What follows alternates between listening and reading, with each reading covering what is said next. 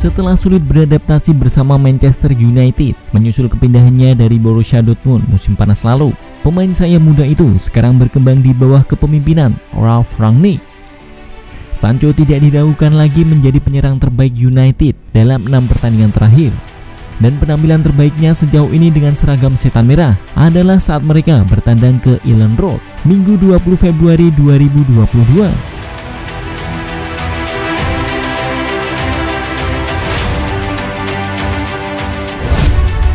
Dalam kondisi lapangan yang licin karena hujan, pemain internasional Inggris itu justru tampil sangat impresif melawan Leeds United.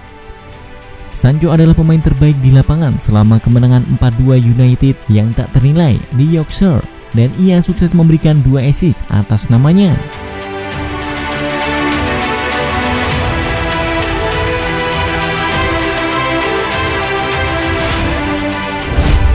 Yang pertama datang menjelang turun minum Pemain berusia 21 tahun itu adalah bagian dari serangan balik yang luar biasa dari United.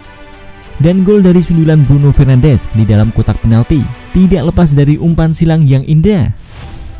Fernandes melakukan sisanya, menyundul bola di bawah Ilan Meslier untuk membawa setan merah unggul 2-0.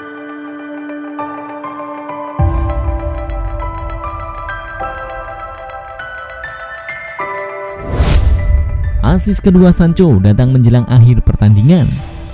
Fred yang berdiri bebas segera mendapatkan umpan dari Sancho dan pemain asal Brazil itu dengan menggunakan kaki kirinya melepaskan tendangan keras yang kemudian mengubah skor menjadi 3-2.